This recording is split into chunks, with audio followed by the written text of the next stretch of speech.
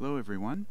This is December the 31st, 2010, the last day of 2010, and this is a day in the life of a Linux and FreeDOS user. This is going to be a good show, and I've been looking forward to doing this episode for quite a while, and um, we're going to talk about uh, mostly open source BIOS. Now, uh, to this end, the ultimate goal is to build a completely open system. And we're mostly going to talk about open source BIOSes. Uh, that is the basic input output system of a computer. Uh, but first, on a somewhat more lighthearted note, some Linux folks have put tux stickers over their Windows keys, and they also put these uh, Linux aluminum case badges on their cases. And I just thought that was uh, you know, really interesting. And one person I talked to on IRC even takes this further and suggests that instead of using control keys, we should use freedom keys. So, yeah, that's uh, that's cute. Anyways, um, now I'm going to mention some examples of BIOS, open source BIOSes. Um, these are historical, and then we'll move from the historical to the modern. Okay, so you can get the full uh, commented BIOS source code for the IBM AT 8286. That's freely available on the internet. Um, there is uh, a cartridge for the Commodore 64. They call it the CP/M version 2.2 and uh, the source code is in Z80 assembly language. And that this cartridge is basically you put it in and you get CP/M or CP forward slash M which is uh, another 8-bit operating system for the uh, Commodore 64 and uh, when we talk about Commodore 64 uh, there's a little historical information here. We talk about the we don't talk about BIOS they didn't call it the BIOS. They called it the ROM kernel, kernel, and that they spelt it K-E-R-N-A-L. Okay, and we're just going to talk a little bit about historically what was happening with the, uh, the, the Commodore 64 and the Commodore Amiga. Well, back then they had proprietary firmware, so your kernel or your BIOS or whatever you want to call it. Um, it was just uh, basically a binary blob, and uh, you weren't allowed to look at the source code. So only if you worked for Commodore. Uh, okay, now uh, going to let's go forward a little bit into the present, and what else is available? well, there's the Lemote from China, which has the uh, the MIPS CPU, and it uses PMON as the BIOS, and that is open source. You can freely download it. Um, of course, back in uh, meanwhile back in x86 land, where I seem to be firmly uh, entrenched, uh, we have Coreboot, which was formerly known as Linux BIOS, and it was started back in 1999. And uh, this is a free software project aimed at replacing the proprietary BIOS or firmware that you find in most of today's computers. It performs just a little bit of hardware initialization and it executes a payload. Uh, and in my case, I use SeaBIOS. And uh, you can check the website uh, coreboot.org for supported motherboards. Okay, so um, let's we'll talk a little bit about the uh, particulars. Uh, Coreboot and SeaBIOS are both written in C language and it was compiled with uh, GCC, uh, also known as the GNU Compiler Collection. Uh, SeaBIOS is an open source implementation uh, of a 16-bit x86 BIOS. Uh, and SeaBIOS doesn't do any memory test. You don't see a post paron system test like you would on a normal BIOS, so it's a lot faster. It just goes, it just goes right into the uh, the startup sequence. It's very fast. Okay, besides um, x86 and x86 x64 arch architectures. Coreboot also support Core, Coreboot support also exists for the AMD. Okay, now I'm not sure how to pronounce this. Again, we're in this type of a situation. AMD uh, G Geode, G E O D E. That's how I'm going to say it. Uh, Genode, AMD Genode. Of course, this is also x86 based, so it's not really that much different. Uh, Genode processors are optimized for low power consumption and low cost, while still remaining compatible with software written for the x86 platform. Okay, in um, 2006, Sun Microsystems uh, released their open firmware implementation called uh, Open Boot under a BSL license and their uh, code supports the Sun 4V architecture running on a hypervisor. Okay, so you can see there's a few different uh, open source BIOSes out there. Uh, okay, in my specific case, I use Coreboot with a Gigabyte GA-6BXC. 6BXC and uh, the, this uh, motherboard has three ISA slots, four PCI slots, and one AGP slot. Uh, and maximum memory uh, it supports is 768 megs.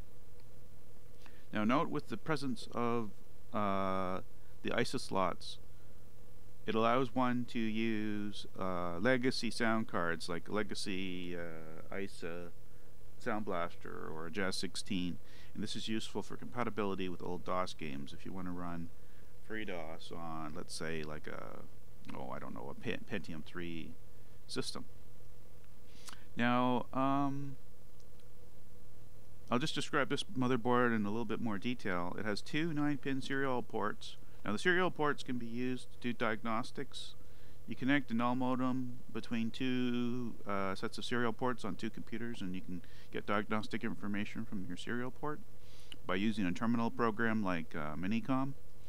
Okay, and it also has a parallel port, two USB ports, and I'm pretty sure that's USB version 1. And uh, yeah, if you have the null modem, 9-pin null modem cable, and a flash programmer, that's uh, that's really useful to have when you're doing um, when you're using Coreboot or you're trying to implement Coreboot on uh, a motherboard. Now I have successfully booted with Coreboot and SeaBIOS on this motherboard, uh, the Gigabyte one, and uh, I'll just let's just describe a little bit about how how it works. Coreboot does a low-level initialization of the DRAM for the board, and uh, by default, Coreboot does not provide BIOS call services. So uh, what happens is Coreboot actually uses a payload called SeaBIOS and uh, that is used to provide BIOS calls and thus allows Coreboot to load operating systems that require those services.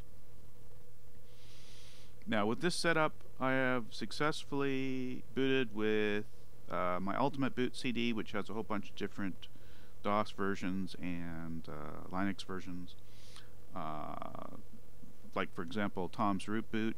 Uh, I had some trouble with the PCI network card on Tom's Root Boot. It's uh, it's an older Linux, and the IRQ on the uh, on the Ethernet card came up as zero. I also had some trouble with the Logitech wireless keyboard, and the keyboard didn't work with it at all. So uh, that was kind of uh, a little technical detail that I'll mention. And in FreeDOS, I had to disable legacy USB in the BIOS to get it to work properly. and I also booted successfully with uh, DSL or damn small Linux.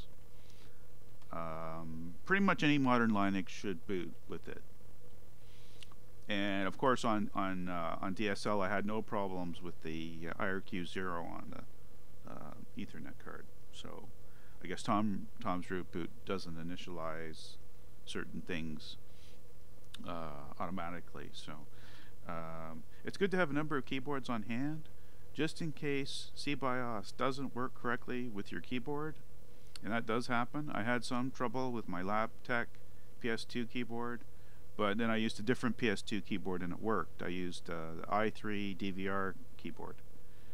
Uh, not sure why it worked with that one and not the Labtec, but uh, there you go. Um, here's the progress I've been making with the FreeDOS.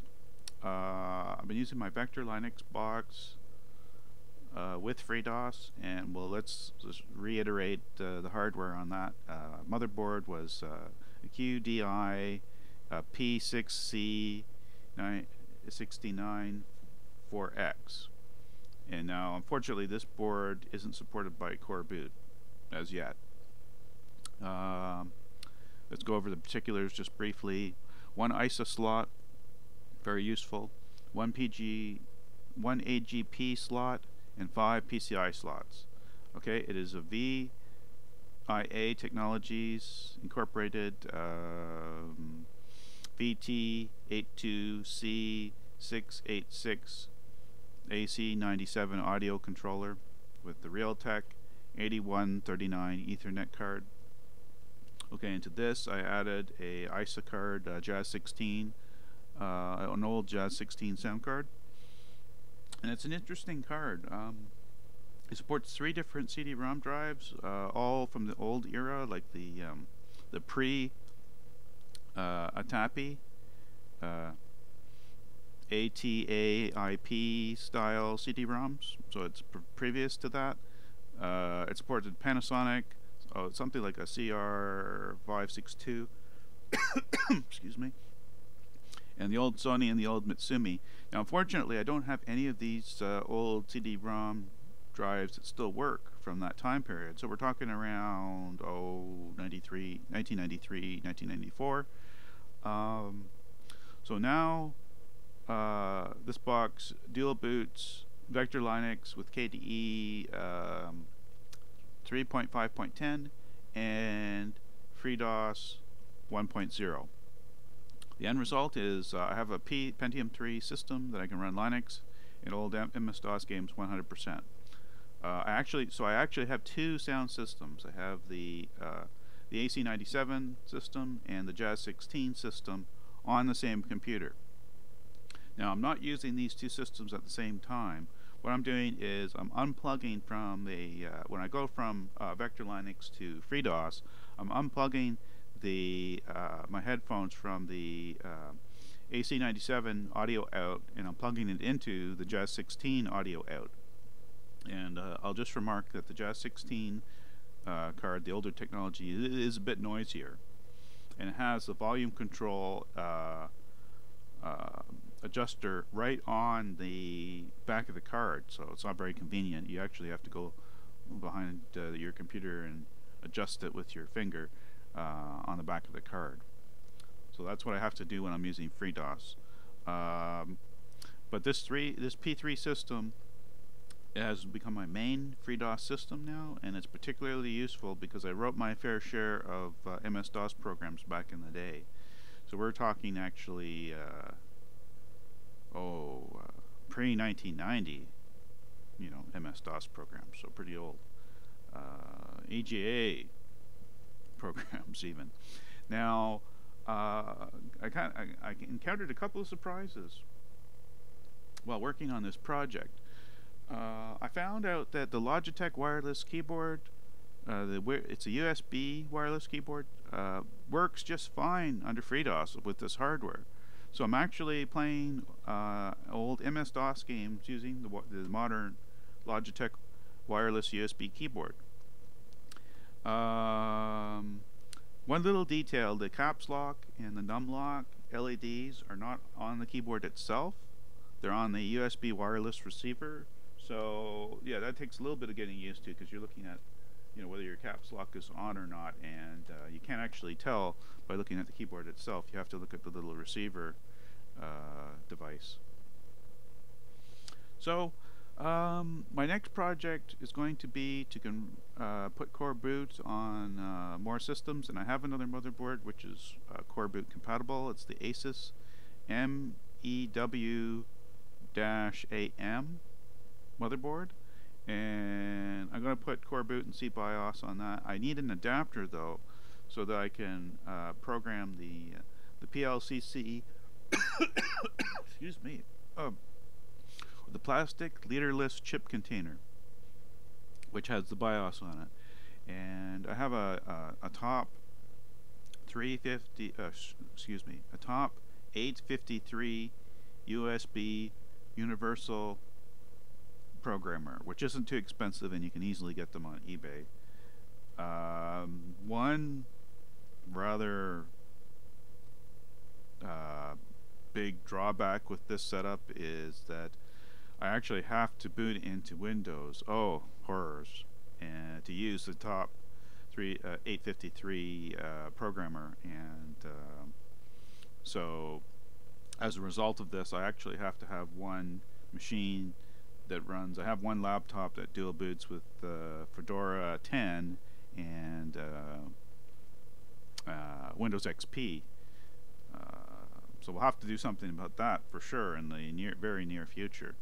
Uh, so anyway, it's been a very interesting project, and I'm very, very pleased with the end result. We'll wrap it up there, and thanks again for listening.